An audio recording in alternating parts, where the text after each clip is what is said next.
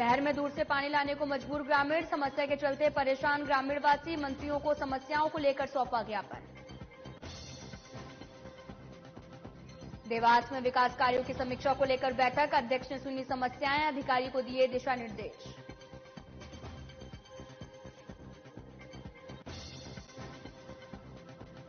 उज्जैन के महाकाल मंदिर में चोर और जेब कतरे सक्रिय लोगों को हो रही काफ़ी परेशानी। एक चोर को किया गया काबू, पुलिस कर रही मामले की पूछताछ।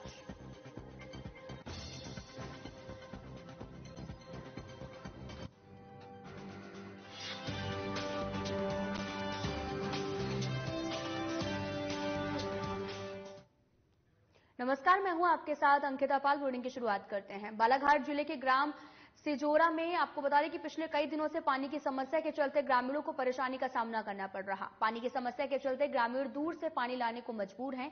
ग्रामीणों के माने तो गाँव में हर घर जल योजना के तहत में पानी टंकी तो बना दी गई है। साथ ही हर घर पर नल कनेक्शन भी कर दिया गया, लेकिन कभी चालू ही नहीं हुआ। आपको बता दें कि ग्रामीणों ने बताया कि उनके गाँव में पिछले कई सालों से पीने के पानी की समस्या चली आ रही है। पानी की समस्या के चलते कई बार अधिकारियों से लेकर नेताओं और मंत्रियों को अपनी समस्याओं से अवगत कराते हुए ज्ञापन भी दे चुके हैं, लेकिन आज तक समस्या का हल नहीं हुआ है। आपको बता दें कि पूरा मामला बहर का है, जहाँ से आपको बता दें कि दूर से पानी लाने को ग्रामीण जो है वो काफ़ी मजबूर हैं। क्योंकि समस्या के चलते काफ़ी उन्हें परेशानियों का भी सामना करना पड़ता है। मंत्रियों को समस्याओं का ज्ञापन भी सौंपा गया है। और साथ ही आपको बताते चले कि बालाघाट ज़िले के ग्राम सिझोरा में पिछले कई दिनों से पानी की समस्या के चलते ग्रामीणों को काफ़ी परेशानियों का सामना करना पड़ रहा। पानी की समस्या के चलते ग्रामीण दूर दूर से अपने पानी लाने को काफ़ी मजबूर हो चुके हैं। ग्रामीणों के माने तो गाँव में हर घर नल योजना के तहत में पानी टंकी तो बना दी गई है और साथ ही हर घर पर नल कनेक्शन भी कर दिया गया, लेकिन अभी तक चालू नहीं हुआ है, जिससे ग्रामीणों को काफ़ी परेशानियों का सामना करना पड़ता है। पूरा मामला बहर का है और जहाँ पर दूर दराज से पानी लाने को लोग जो हैं, वो काफ़ी मजबूर हैं और साथ ही कई घंटों तक पानी के लिए खड़ा भी रहना पड़ता है क्योंकि काफ़ी दूर दूर से लोग यहाँ पर पानी भरने के लिए आते हैं। तो नल एक होने की वजह से भी दूर दूर से लोग पानी भरने आते हैं, जिससे उन्हें काफ़ी परेशानियों का सामना करना पड़ता है। इसके कारण यही है जी कि इसमें पाइपलाइन तो बिछा दिया गया है नल भी फिटिंग हो गया है। टंकी के लिए बोर कराने के लिए हम लोग अगवत भी कराए तो चार ठो बोर बस हुए हैं। बाकी बोर खुदाए नहीं है है। ना? बाकी बोर खुदाए भी नहीं है और प्लस बाकी बोर नहीं खुदाने के कारण भी हम एक सौ इक्यासी में फ़ोन लगाए। तो बोले किसी तरह के कोई ऑब्जेक्शन भी नहीं लिया गया और इधर के मतलब जो कार्यकर्ता है वो भी ध्यान नहीं दिए। जिला पंचायत साधारण सभा की बैठक मंगलवार दोपहर दो बजे से जिला पंचायत सभागार में हुई। बैठक में जिला पंचायत अध्यक्ष लीला भैरू सिंह, अट्रिया सहित जिला पंचायत और जनपद पंचायत के अध्यक्ष और जनपद सदस्य मौजूद रहे।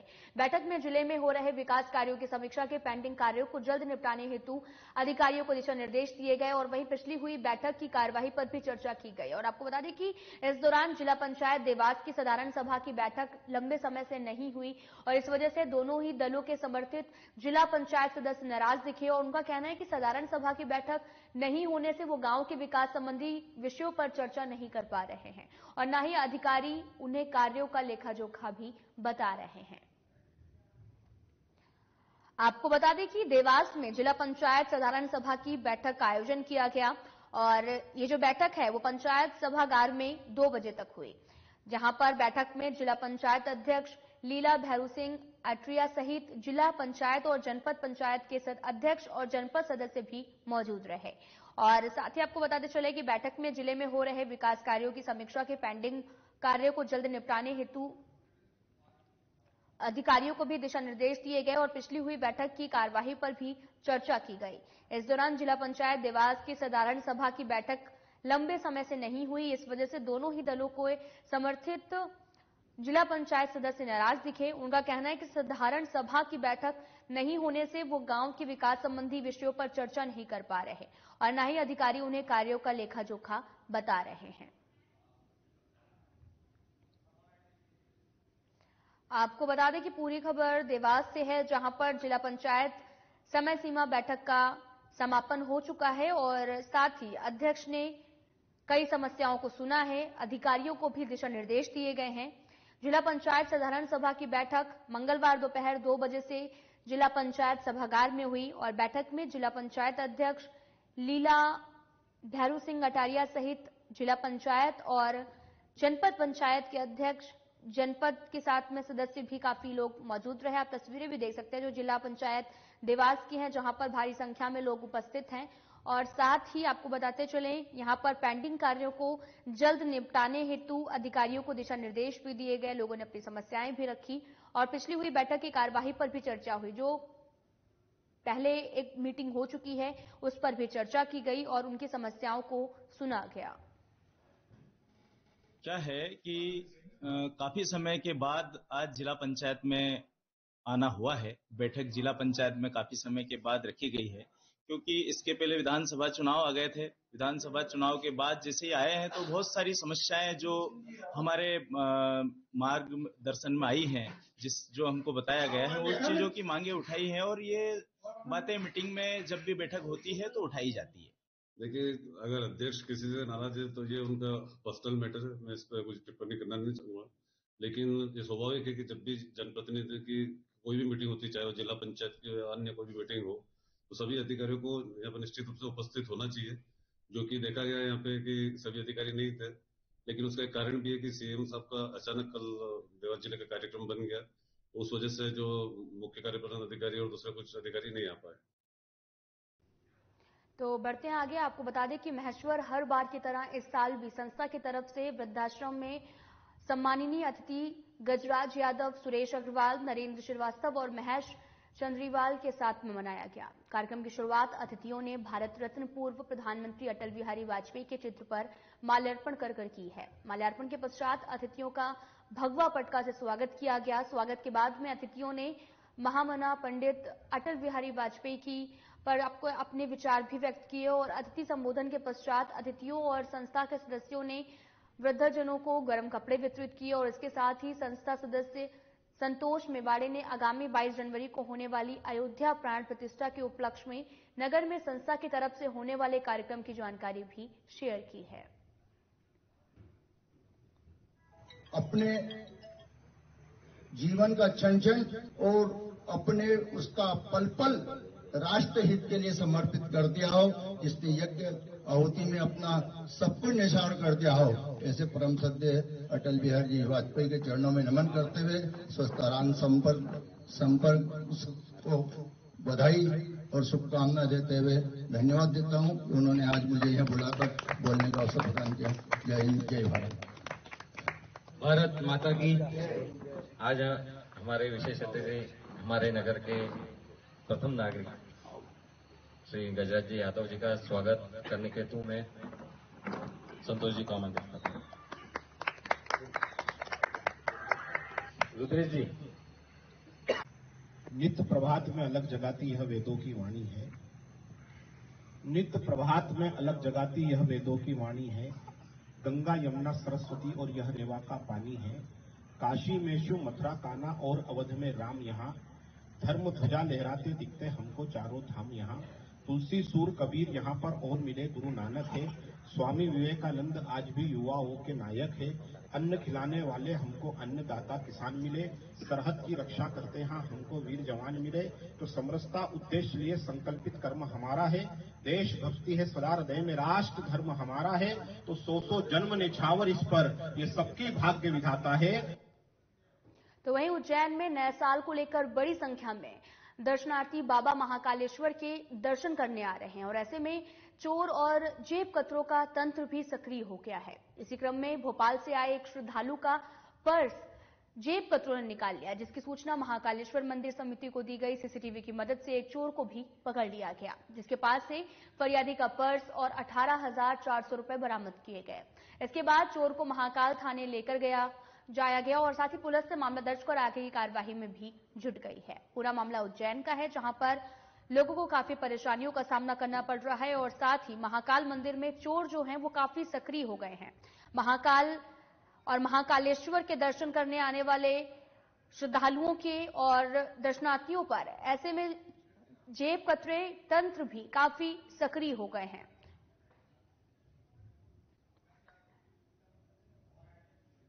आपको बता दें कि भोपाल से आए एक श्रद्धालु का पर्स जो है वो जेब पत्रों ने निकाल लिया, जिसकी सूचना महाकालेश्वर मंदिर समिति को दी गई। सीसीटीवी की मदद से एक चोर को पकड़ा गया, जिसके पास से अठारह हज़ार चार सौ रुपए बरामद किए गए हैं। आप तस्वीरें भी देख सकते हैं जहाँ पर पुलिस जो है वो फरियादी का पर्स और अठारह हज़ार चार सौ रुपए बरामद किया है और इसके बाद में चोर को महाकाल थाने लाया गया। पुलिस ने मामला दर्ज कर आगे की कार्रवाई में जुट गई है। पूरा मामला उज्जैन का है, जहाँ पर दूर दराज से लोग यहाँ पर मंदिर में दर्शन करने के लिए पहुँचते हैं। और इसी दौरान जेब कतरे और साथ ही जो चोर होते हैं, वो काफ़ी सक्रिय हो गए हैं, चोरी की घटनाओं को अंजाम दे रहे हैं। और हाकि आपको बता दें कि इस समय महाकालेश्वर में काफ़ी भीड़ भी उमड़ पड़ी है और दर्शन करने के लिए आ रहे क्योंकि आपको बता दें कि 25 से न्यू ईयर के बीच में काफ़ी संख्या में जो लोग हैं वो दर्शन करने के लिए मंदिरों में पहुँचते हैं और इसी बीच में महाकालेश्वर के दर्शन करने आने वाले श्रद्धालुओं के साथ में चोरी की घटनाएँ आए दिन देखने को मिल रही हैं। तो ताज़ा मामला जो सामने आया है वो उज्जैन का है, जहाँ पर भोपाल से आए श्रद्धालु का पर्स जेब पत्रों ने निकाल लिया, जिसकी सूचना महाकालेश्वर मंदिर समिति को दी गई। सीसीटीवी की मदद से चोर को पकड़ा गया है और इसके बाद में जेब कतरे के पास से फरियादी का पर्स और अठारह हज़ार चार सौ रुपए भी बरामद कर लिए गए हैं। और पूरा मामला महाकाल थाने में दर्ज किया गया और पुलिस पूरे मामले की जाँच कर रही है। महाकाल मंदिर में एक जेब कतरा जो पॉकेट चोरी कर रहा था, उसके जेब से कुछ कैश पाया गया। तो जिस व्यक्ति का कैश इसने पॉकेट मारा था, उस लड़के के जेब से निकला है कैश और सीसीटीवी के माध्यम से पूरा सर्च किया गया है और उस लड़के को पकड़ा गया है उसके जेब से कुछ कैश निकला था। और एक बाहर के व्यक्ति दर्शनार्थी थे उनको कैश लौटाया उनका और बाकी एक्स्ट्रा जो अमाउंट है इसके पॉकेट से अट्ठारह हज़ार कुछ चार सौ रुपए कुछ है तो ये कैश और इस लड़के को महाकाल थाने पे दिया जाए ये फरुखाबाद यूपी का रहने वाला है श्रीवास्तव इसका नाम है वासु श्रीवास्तव। इसके साथ एक लड़का और था वो इसको छोड़ के और भाग गया है वो और उससे ना कांटेक्ट हो रहा हो पा रहा है और मिल का। ठीक है आज महाकालेश्वर मंदिर में एक, जो चोर है, पकड़ा गया है, एक यात्री द्वारा शिकायत की गई थी कि उसके जेब से किसी ने पर्स निकाला है और उसने जो स्थान बताया गया था, वहाँ से हमारे द्वारा कैमरे पर सर्च किया गया सर्च करने पर उसका पता चल गया और तुरंत ही हमारी टीम द्वारा उसका सर्च करके उसको पकड़ा गया जो उसकी जब यहाँ के गार्डो द्वारा जाँच की गई तो उसकी जेब में से लगभग अट्ठारह हज़ार रुपये पाए गए और यात्री का पर्स भी मिला है। और उसको तुरंत कार्रवाई के लिए महाकाल थाने भेज दिया गया। आरोपी कहाँ का है? आरोपी अपने आप को उत्तर प्रदेश का बता रहा है।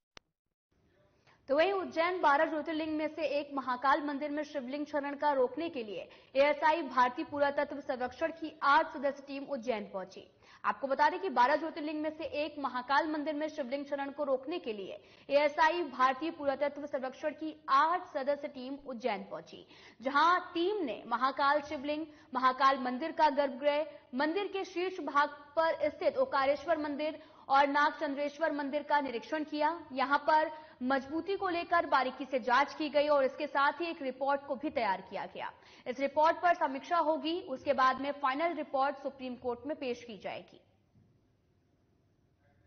आप ये तस्वीरें देख रहे हैं, तस्वीरें उज्जैन की हैं, जहाँ पर उज्जैन जो है वो 12 ज्योतिर्लिंग में से एक महाकाल मंदिर में शिवलिंग शरण का रोकने के लिए भारतीय पुरातत्व संरक्षण की आठ सदस्य टीम उज्जैन पहुँची है। आप तस्वीरें भी देख सकते हैं, तस्वीरें उज्जैन की हैं, जहाँ पर पूजा अर्चना की जा रही है और इसी को लेकर शिवलिंग क्षरण को रोकने के लिए एएसआई भारतीय पुरातत्व संरक्षण की आठ टीम को गठन किया गया और वो उज्जैन पहुँची हैं, जहाँ पर महाकाल मंदिर में शिवलिंग शरण को रोकने के लिए एएसआई भारतीय पुरातत्व संरक्षण की आठ टीम उज्जैन पहुँची और जहाँ पर टीम ने महाकाल शिवलिंग, महाकाल मंदिर का गर्भगृह, मंदिर के शीर्ष भाग पर स्थित ओकारेश्वर मंदिर, नागचंद्रेश्वर मंदिर का निरीक्षण किया क्योंकि लगातार देखने को आ रहा है कि शिवलिंग क्षरण जो है वो लगातार हो रही है, जिसको रोकने के लिए एक टीम का गठन किया गया जो कि उज्जैन पहुँची और आज सदस्यीय टीम वहाँ पर निरीक्षण का कार्य जो है वो लगातार कर रही है। और इसी दौरान शिवलिंग महाकाल मंदिर का गर्भगृह, मंदिर के शीर्ष भाग पर स्थित ओकारेश्वर मंदिर नाग चंद्रेश्वर मंदिर का निरीक्षण किया गया और यहाँ पर मजबूती को लेकर बारीकी से भी जाँच की जा रही है। इसके साथ एक रिपोर्ट को भी तैयार किया गया। इस रिपोर्ट पर समीक्षा होगी और उसके बाद फाइनल रिपोर्ट सुप्रीम कोर्ट में पेश की जाएगी।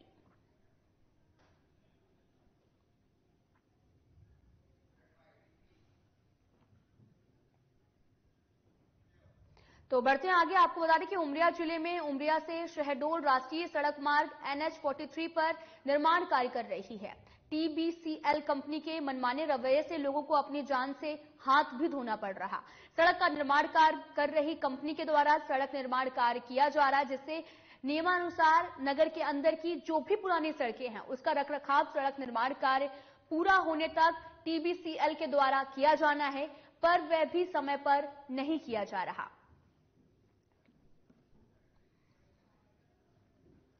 आपको बता दें कि पूरा मामला उमरिया का है, जहाँ पर टीबीसीएल की लापरवाही सामने आई है। और लोगों की जो जाने हैं, वो भी जा रही हैं। आपको बता दें कि पूरा मामला उमरिया ज़िले के शहडोल राष्ट्रीय सड़क मार्ग एनएच 43 निर्माण कार्य कर रही है। टीबीसीएल कंपनी के मनमाने रवैये से लोगों को अपनी जान से भी हाथ धोना पड़ रहा, क्योंकि सड़क का निर्माण कार्य कर रही कंपनी के द्वारा सड़क निर्माण किया जा रहा है जिसमें नगर के अंदर जो पुरानी सड़कें हैं, उसका रखा रखाव सड़क निर्माण कार्य पूर्ण होने पर टीबीसीएल के द्वारा किया जा रहा और वह भी समय पर नहीं किया जा रहा। आप तस्वीरें देख रहे हैं, तस्वीरें उमरिया की हैं, जहाँ पर सड़क के निर्माण का कार्य जो है रिपेयरिंग का काम जो है, वो लगातार किया जा रहा है, जिससे कंपनी जो है टीबीसीएल कंपनी, वो अपने मनमने, मनमाने रवैये के लेकर सुर्खियों में बनी हुई है, क्योंकि यहाँ पर लोगों की अपनी जान के साथ में हाथ भी धोना पड़ रहा। सड़क का निर्माण कार्य कर रही कंपनी के द्वारा सड़क निर्माण भी किया जा रहा है, जिससे नगर के अंदर की जो भी पुरानी सड़क है, उसका रखरखाव सड़क निर्माण कार्य पूरा होने तक टीबीसीएल के द्वारा किया जाना है, पर वह समय पर नहीं किया जा रहा है। आपको बता दें कि टीबीसीएल कंपनी जो है, वो लगातार सड़क निर्माण कार्य करा रही है उमरिया में, लेकिन जो काम है वो काफ़ी धीमी गति से चल रहा है, जिससे यहाँ से आने जाने वाले लोगों को भी काफ़ी दिक्कतों का सामना करना पड़ता है। आप तस्वीरें भी देख सकते हैं, जहाँ पर बड़े बड़े गड्ढे हो रखे हैं, उनको, उनके भराव का काम भी लगातार किया जा रहा है, लेकिन जो काम है वो बहुत ही ढीले ढंग से किया जा रहा है और काफ़ी समय लग रहा है, जिससे आने जाने वाले लोगों को भी काफ़ी दिक्कतों का सामना करना पड़ रहा है और जो अंदर की सड़क की अगर बात की जाए, जो पुरानी सड़कें हैं, उनको भी रिपेयरिंग का काम करना है, लेकिन बहुत धीमी गति से चल रहा है, जिसकी वजह से लोगों को आने जाने में काफ़ी दिक्कतों का सामना करना पड़ता है। पृथ्वीपुर के लुहारगुवा गाँव में किसी अज्ञात व्यक्ति के द्वारा एक बेल पर आपको बता दें कि कुल्हाड़ी से हमला कर दिया गया। और वही घटना की जानकारी ग्रामीणों को लगी तो ग्रामीणों में उक्त घटना को लेकर आक्रोश देखने को मिला, जिसको लेकर ग्रामीणों ने इसकी जानकारी पुलिस थाने में दी और पशु चिकित्सक विभाग के डॉक्टर को दी गई। और जिस पर मौके पर पहुँचे, पशु चिकित्सक विभाग के डॉक्टर ने उक्त बेल का उपचार किया और वहीं मौके पर पहुँची, पुलिस ने हमले, उपायुक्त कुल्हाड़ी को जब्त कर लिया और फ़िलहाल पुलिस पूरे मामले की जाँच कर रही है।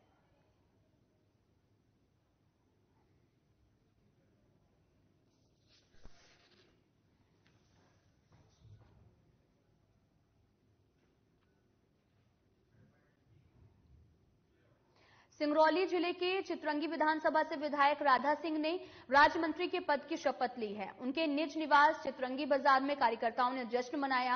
साथ ही आपको बताते चले कि मध्य प्रदेश के सीएम मोहन यादव ने अपनी मंत्रिमंडल का विस्तार भी किया है, जिसमें सिंगरौली ज़िले के चित्रंगी विधानसभा से विधायक राधा सिंह को भी जगह मिली है और पद एवं गोपनीयता की शपथ लेने के साथ ही राधा सिंह के निवास पर कार्यकर्ताओं ने जश्न मनाया और चौक चौराहों पर आतिशबाजी भी की गई। आप तस्वीरें देख रहे हैं जो कि सिंगरौली की हैं और जहाँ पर राधा सिंह ने मंत्री पद की शपथ ली है तो वहीं दूसरी ओर आपको बता दें कि चितरंगी विधानसभा से ही विधायक बनाया गया, निवास स्थान पर। यहाँ पर जश्न की तस्वीरें भी आप देख सकते हैं। यहाँ पर जश्न साफ़ तौर पर दिखाई दे रहा, लोगों के चेहरे पर खुशी नज़र आ रही है, क्योंकि राधा सिंह ने मंत्री पद की शपथ ली है, जिसको लेकर कार्यकर्ता जो वहाँ पर लोग हैं, वो उपस्थित हैं, वो काफ़ी अपने खुशी भी ज़ाहिर कर रहे हैं।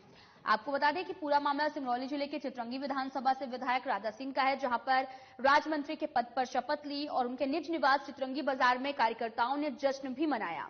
आप तस्वीरें देख सकते हैं, तस्वीरें मध्य प्रदेश की हैं और साथ ही मध्य प्रदेश के मुख्यमंत्री मोहन यादव ने अपने मंत्रिमंडल का विस्तार किया है और मंत्रिमंडल के विस्तार में सिंगरौली ज़िले के चित्रंगी विधानसभा से विधायक राधा सिंह ने भी जगह ली। पद एवं गोपनीयता की शपथ लेने के साथ ही राधा सिंह के निवास पर कार्यकर्ताओं ने जश्न मनाया। मंगलवार को ग्राम पिपलिया डाबी में स्थापित श्री कृष्णा गौशाला की नवीन कार्यकारिणी समिति का गठन हुआ, जिसमें सर्वसम्मति सदस्य द्वारा गौशाला को संचालित करने का संकल्प लिया गया, जिसमें गाय अच्छी तरह से व्यवस्था, भरण पोषण, आहार कर सकें। इसके लिए गौशाला में मौजूद समिति द्वारा गाय का तिलक लगाकर पूजन किया गया। बैठक में सदस्य द्वारा यह भी निर्णय लिया गया कि हर अमावस के दिन सभी सर्वसम्मति सदस्यों को बैठक में आना है। कार्यक्रम में ग्राम रामा बलोदा अहरीर खेड़ा, पिपलिया, ढाबी, कोकरी और साथ ही अन्य सदस्य द्वारा शपथ दिलाया गया।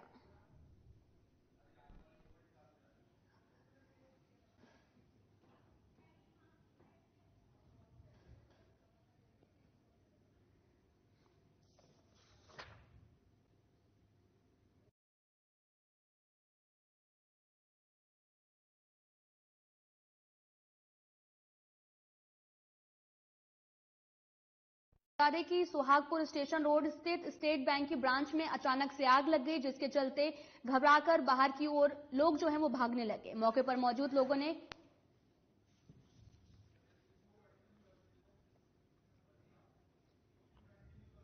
आपको बता दें कि नर्मदापुरम के सुहागपुर स्टेशन रोड स्थित स्टेट बैंक की ब्रांच में अचानक से आग लग गई और जिसके चलते लोग घबराकर बाहर की ओर भागने लगे। मौके पर मौजूद लोगों ने बताया कि एसबीआई ब्रांच के जनरेटर में धुआँ उठा और कुछ ही देर बाद उसने तेज आग पकड़ ली। घटना की सूचना दमकल विभाग को दी गई। सूचना के बाद मौके पर पहुँची दमकल की गाड़ियों ने आग पर काबू पाया है। अब तस्वीरें देख सकते हैं। तस्वीरें नर्मदापुरम की हैं, जहाँ पर दमकल विभाग की टीम ने आग पर काबू पाया है। बुलेटिन में इतना ही नमस्कार.